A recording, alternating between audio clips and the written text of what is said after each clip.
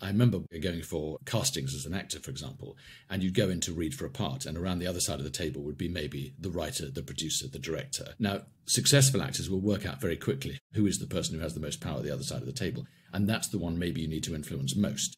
In a top down military organization, it would be more sensible to be shorter and clearer in your messaging. In a group think, I think you'd probably soften the language a bit more and say, I know we've all thought about this, and maybe this is a suggestion what we all think, and so the style is much more open.